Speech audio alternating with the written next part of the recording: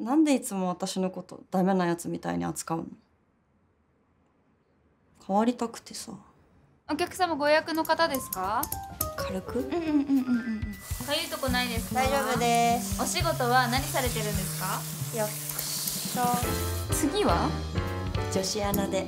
ぽいぽいぽい。お笑い芸人役で。